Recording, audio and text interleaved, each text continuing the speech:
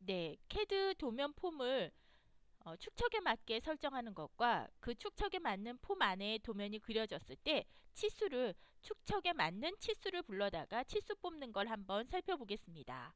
먼저 현재 도면을 살펴보시게 되면 50분의 1 축척 도면입니다. 자, 요거를요. 100분의 1 폼을 한번 준비해 보려고 그래요. 카피하겠습니다. 자, 현재 도면 폼에 관련된 걸 선택을 하시고 자, 여기 end에서부터 이쪽 옆으로 하나를 준비를 했어요.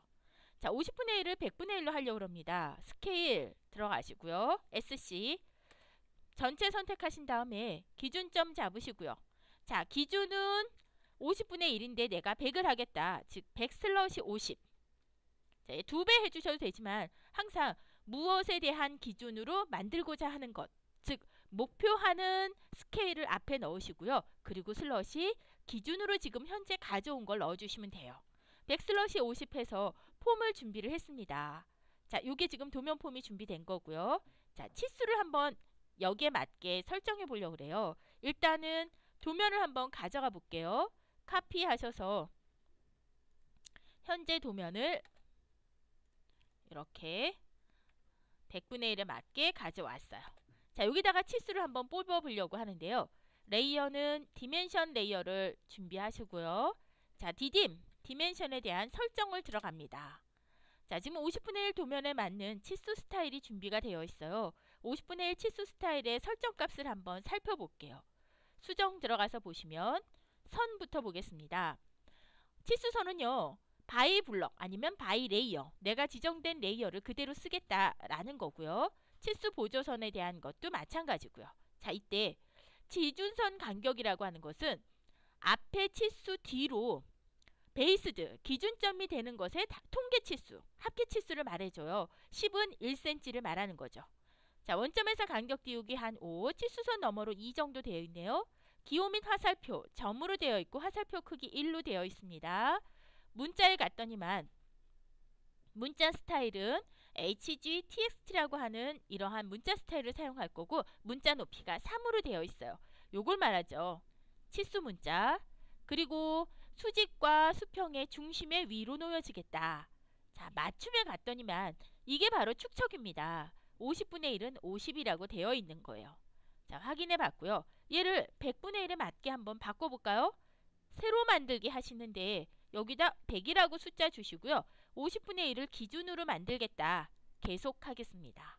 나머지는 건들 필요 없고요. 맞춤해서 전체 축척을 100 주시면 됩니다. 확인 닫기 할게요. 자 그러면 dimension 작업을 할 건데 다시요. DDIM 들어왔을 때 아, 100분의 1이 현재로 되어 있는 걸 확인했고요. 치수 뽑아 보겠습니다. dim horizontal 기준점 다음 지점. 자 이때요. 일반적으로 한 2cm가 갑니다. 근데 지금 이게 100분의 1의 도면이니까 2000 정도를 가주시면 되겠어요.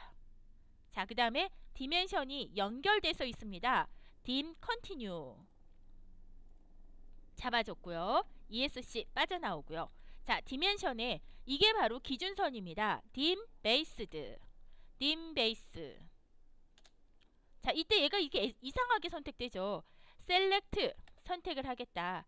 여기를 기준으로 이어서 여기까지 가겠다. 다음으로 또 이어서 가고 다음으로 또 이어서 갈 수 있습니다.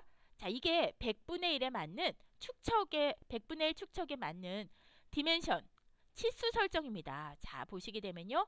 50분의 1 축척의 크기와 두 배로 커진다라는 걸 확인할 수 있죠. 자, 마찬가지로 200분의 1 도면도 그렇게 준비하시고 뭐 내가 만약에 30분의 1을 도면을 하시겠다. 그러면 30분의 1 도면도 그렇게 준비해 주시면 되겠어요. 자, 다시 한번 말씀드리면 폼을 복사해다가 50분의 1을 기준으로 30분의 1을 만들고 싶으십니다. 그러면 30 슬러시 50. 즉, 기준값을 분모에 넣어주시면 돼요. 축척에 가서는 디딤 들어가셔가지고 맞춤의 축척값만 10분의 1에선 10, 50분의 1에선 50, 100분의 1에선 100 넣어주시면 되겠습니다.